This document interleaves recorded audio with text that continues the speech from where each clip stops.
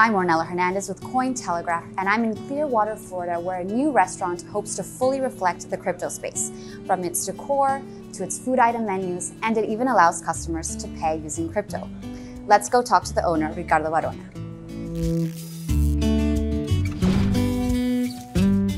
So, Ricardo, tell me about how you got started in the restaurant, who gave you the idea, and how it was to set it up.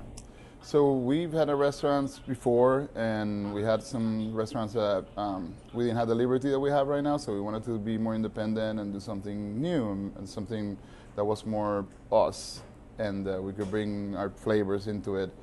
I was thinking about it for a while, and then also I've had crypto conversations with my son, um, which we had for years, and I was totally on the other side, like totally like I would not believe that it was gonna happen. I was afraid that he was gonna lose his money and all that. And within time and within him, you know, things things that he's done, starting watching it more, then it was more I guess for me, more mainstream when it was on Robinhood, because I was trading, and I've been trading forever, but I also would, just because of the new thing, I was doing it on Robinhood as well.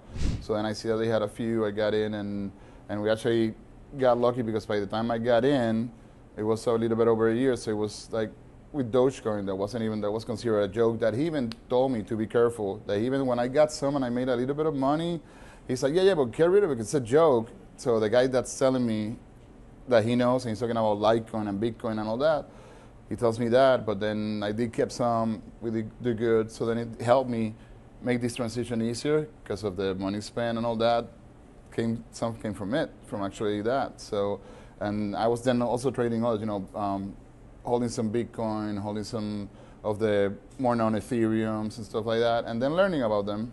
What are your long-term goals for the restaurant? Are you hoping for this to be like a, more of an education initiative? You know, as, as along with the restaurant, mm-hmm. of course.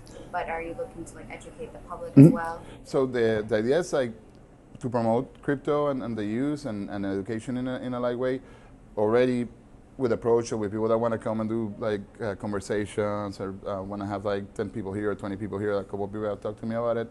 I'm also working with a couple of people that have a news venue that are starting. My idea would be to set that in a system where like the employees will all benefit so we, anybody can do any of the employees could be trained and we go we do it we put it and it's like on a pool and then employees benefit like from like the kickbacks and stuff from like Coinbase, you know, like the. Well, I, ha- I have it just on my account, but I've told them that as I'm training them, you know, that whenever one of them, then we're going to do that, you know, that whenever they're doing it, the ones in the front, which is be soon. I just got this done two days ago, and actually Haley took a payment in Bitcoin just right there while I was talking to oh, okay. the Neil Cavuto thing. Yeah.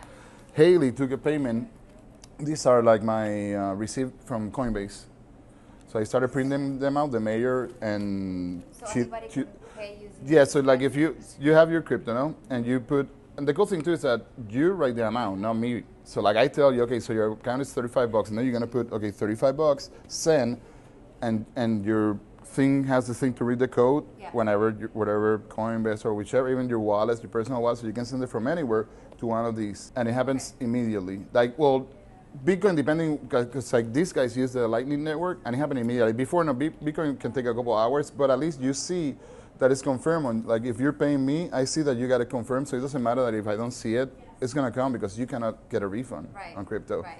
So it's safe, and you, uh, so it's not like a credit card that you can come and, and then go and call and say I wasn't there. Yeah, yeah. People cannot do that with crypto, so that's pretty safe for us.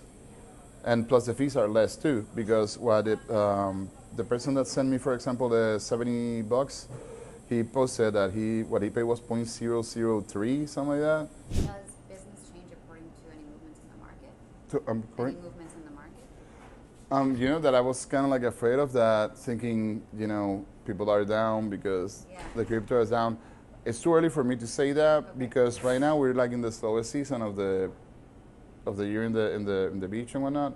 Um, it was lower than the issue yesterday that everything you know crashing one It was lower than expected, but I don't think that it had to do with that as much. All right, so now can you walk me a little bit through the menu and what your favorite items are? Yeah. Fan favorites. Yeah. So fan favorites are definitely like the the crypto Cuban.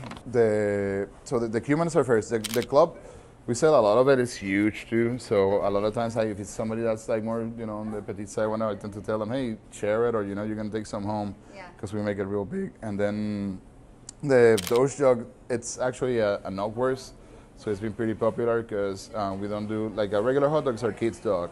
They're all boar's heads, so it's pretty good stuff. But then for the Doge jug, it's a, it's a nice, it's a thick knockwurst, so it's been pretty popular. Okay, amazing. Thank you.